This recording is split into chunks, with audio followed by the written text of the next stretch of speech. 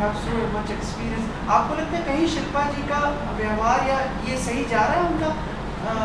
या जो भी व्यवहार है क्या इसमें अंकुश लगना चाहिए या कुछ आपकी तरफ़ से होना चाहिए ताकि ये देखिए ये again like I said it's a very question आपने जैसे पूछेगा। सर सेंटर में सर। जी, जी, जी, इजी ये बहुत ही पर्सनल व्यू है। जब कभी एक प्रोड्यूसर और एक एक्टर के बीच में विवाद होता है तो उसके कई कारण होते हैं। And it is not necessary कि सिंटा को हर कारण का पता हो। जब चीज़ बहुत सिंप्लीफाइड होती है तो सिंटा पूरी कोशिश करती है कि भाई, हम आपस में बैठ के इस चीज़ को एमिकेबली सेटल करें।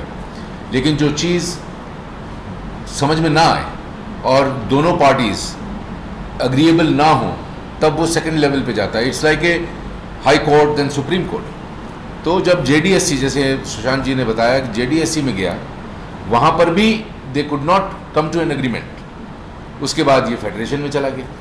अब federation is the mother body अब जो डिसीज़न वो लेगी that will be applicable to the producer and Shilpa ji together you see ये just CINTAA alone we can guide our member कि देखो ये ये सही है, ये गलत है।